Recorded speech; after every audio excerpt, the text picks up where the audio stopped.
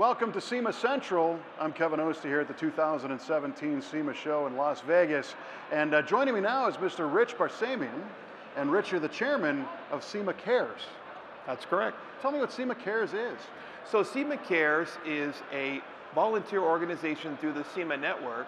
And what it is, is it's different volunteers throughout this whole SEMA organization, you know, whether it's members or it's uh, factories, they're all helping in some sort of way. And we give back to three children's charities. One is Childhelp, which helps abused children.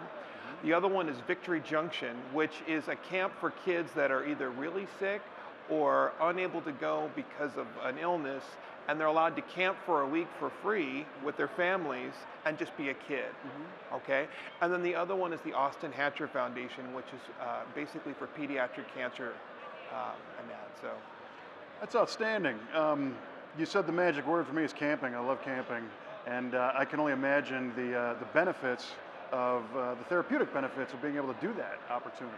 Oh, absolutely. Yeah, these kids come out of this thing and you know, you can imagine they're confined and they're not able to do certain things, and in that environment, they get to just be a kid again, which yeah, is yeah, amazing. Yeah, it's great.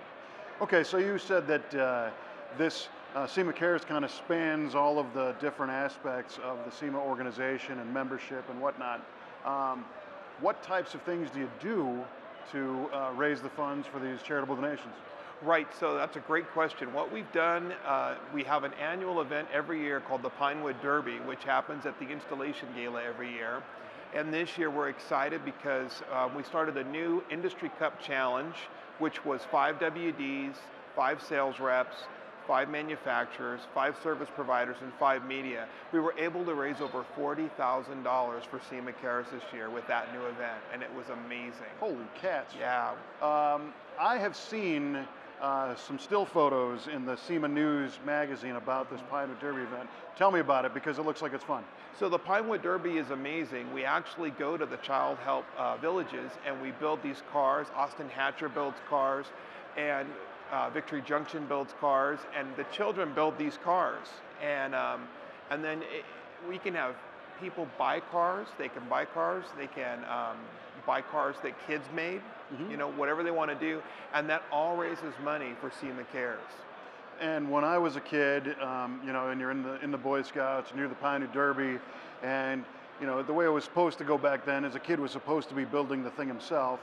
Um, and you had a lot of help from people and you carved something and it you know it looked like something that nobody would want to buy um, i've seen some of these uh, uh, race cars and this is some of the top fabricators and, and craftsmen in the industry making some really cool stuff yeah, absolutely. Some of it is unbelievable when you yeah. see what they put into it. They go all out. Yeah, and it, it definitely gives them something interesting to take home if, if uh, uh, somebody wanted to purchase one of those as a fundraiser. Absolutely. So, uh, anything else big on the calendar as uh, fundraising operations? Absolutely. We've got several vehicles that are being auctioned off this year mm. uh, over the next two years. And uh, WD-40 has sponsored the Bronco, the 67 Camaro. Um, we've got a variety of vehicles. And that's really where the, the, the, main thrust of the, of the fundraising comes from is these auctions. We're, we're lucky to, to be able to go into get into Barrett Jackson and auction these vehicles off. Um, one is slated for January of this year coming up, and um, it, it's pretty amazing. In the WD-40 booth, they've got that Bronco right now that they're building uh, for the 2019 year. Oh, right on. Yeah, exactly. Now, today we live in a world um, where sometimes uh, people have to be a little bit cautious about who they give to. Uh, tell me about the, uh, the effectiveness of a donation in the SEMA Cares arena. Oh, well, yeah. The great part about that is all those funds go directly to the different charities. So we don't hold anything back. We never want to hold anything back from those kids. So anything that's raised goes straight to those kids and those charities. Love it. And that is the way to go. Absolutely. Well, listen, Rich, it was a, a, pleasure talking to you about this. Where can somebody find out more about how to get involved or, or even donate?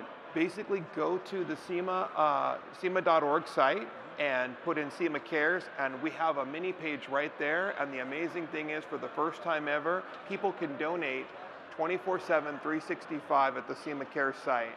So if they feel like putting something down, they can do it. Everybody here at the show has a little mini computer in their pocket or purse. It's an easy way to make that donation and help us, and we greatly appreciate it. Excellent, excellent. So what are you waiting for? Check out SEMA Cares and uh, give so we can continue to help these highly worthwhile charities and do it all through the industry that uh, has helped all of us so much. I'm Kevin Ostie from SEMA 2017.